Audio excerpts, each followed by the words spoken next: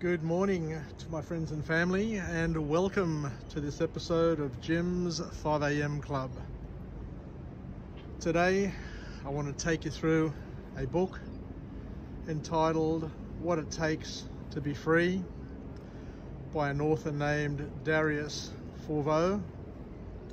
And this book was published on the 15th of August 2019 and is a book that offers a thought-provoking exploration of personal freedom and self-empowerment. Here are a few key takeaways to consider before we step through them one by one. True freedom lies within. Take responsibility for your life. Break free from dependencies. Develop self-awareness embrace discomfort and challenges, invest in personal growth and focus on building a meaningful life. So the first one, true freedom lies within. And we discover that whilst external freedom such as financial independence can be important to many, Real and meaningful freedom comes from a place called inner, inner freedom.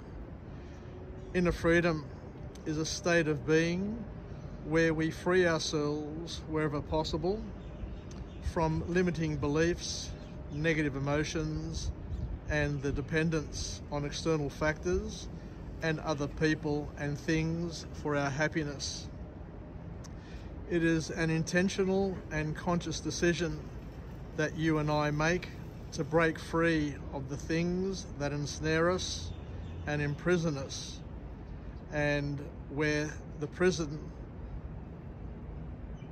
has a lock, where we have the key. So we just need to discover that we have the key to that prison once we decide to live our lives on our terms and not to be dependent on anything for our happiness, freedom and joy will follow naturally. The second point, taking responsibility for our life. We need to step up and take full responsibility for our life and how we react and respond to the things that happen knowing that our life happens for us. We need to stop becoming mismatches and stop blaming external circumstances for our situation and how we feel about it. By taking full ownership of our choices, thoughts and actions, we put ourselves in the driver's seat and have more certainty and impact on actively working towards and creating the life that we really want and desire. Remember that each choice, every action, and every thought has a number of first, second, and third level consequences that may deliver associated rewards and punishments. We all have a different fate from each other. And just as we've lived a different past, we're also going to live a different present and a different future from each other. Everyone's life is different in so many ways, and that's what makes it valuable and great. We need to break free from all the dependencies that we have in life. So we need to identify and break free from these, these dependencies that hold us back, such as relying on others for validation, fearing failure, or being addicted to technology. We all have a lifetime given to us. Some will live three score and ten, others will live to a hundred, whilst others to 30 and others less. It is your life. It's your life, as Bon Jovi reminds us in that iconic song. And we are called to live our lives to the fullest whilst glorifying and serving God and serving and loving our neighbours, whoever they may be. The fourth point is where we de develop self-awareness. We are all invited by the author um, to gain a deeper understanding of our thoughts, feelings and motivations. The self-awareness that comes with this um, enables us to understand that there are conscious choices that we make that allow us, where possible, to align those choices with the values and goals and allows us to be more practical and intentional with what we do rather than random. Of course, we know that uh, we're not all things are going to work out as we plan and dream, but life is much more rewarding and interesting if you pay more if you pay more intention and have the ability to try and craft the life and express your calling rather than drifting aimlessly through life. The next point is where the author asks us to consider embracing discomfort and challenges. And this is a key point. We need to love leaning just outside our comfort zones because that's where the real wow is in life.